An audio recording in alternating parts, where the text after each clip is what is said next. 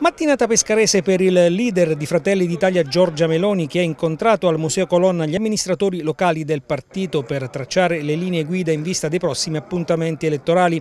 La strategia resta sempre quella di un centrodestra unito. Il centrodestra qui può vincere. Noi possiamo finalmente mandare a casa la sinistra che sta attaccata alla poltrona come un geco sul muro d'estate, che non vuole mandare gli abruzzesi a votare, eh, D'Alfonso ci ha messo cinque mesi a dimettersi, c'è una regione bloccata ostaggio vantaggio del PD perché siccome sanno che perdono male le elezioni chiaramente vogliono tentare di mantenere il potere finché riescono.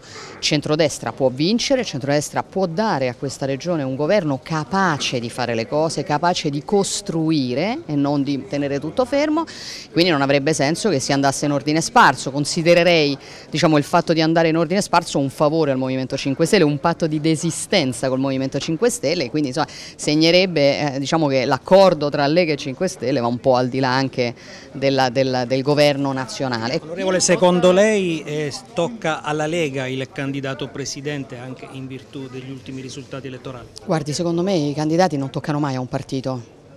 Candidato è quello più capace di farlo, candidato è quello che può vincere, candidato è quello che può meglio governare. Se noi partiamo dal partito che lo deve eh, diciamo, indicare abbiamo già perso. E sabato prossimo si terrà a Pescara la manifestazione della Lega a cui ha dato il suo sostegno d'intesa con le liste civiche per l'Abruzzo Fabrizio Di Stefano sceso ufficialmente in campo come candidato presidente.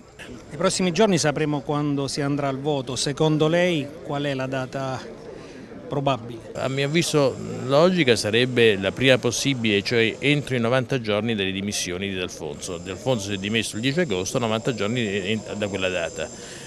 Poi ci sono quei cavilli legati a quella norma eh, modificata l'ultimo giorno di assistenza del Consiglio regionale, anche questo la dice lunga su come evidentemente certe cose vogliono essere manipolate. Intanto nel centro-sinistra si aspetta di conoscere il nome del candidato. Il primo è sempre quello del vicepresidente uscente del Consiglio Superiore della Magistratura Giovanni Legnini, che però scioglierà le riserve nelle prossime settimane. Ma nel PD tengono ancora a banco le dimissioni del segretario regionale Marco Rapino, finito nel mirino di Antonio Castricone, che ha dichiarato come neanche nel momento delle dimissioni Rapino è riuscito a dare la giusta dignità al ruolo che ha ricoperto in questi anni.